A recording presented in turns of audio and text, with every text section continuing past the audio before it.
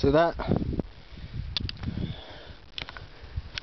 ah, ah fucking bastards.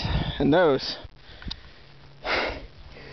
another advantage bees have over us is there's about a hundred of them and one of me. And some bees, these included, when they sting you, they release a chemical that allows the other bees to track you.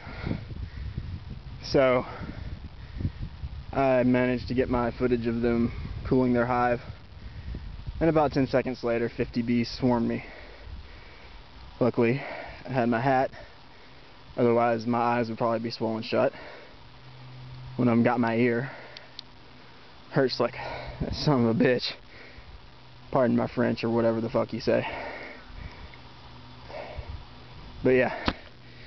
So, tenacious little bastards.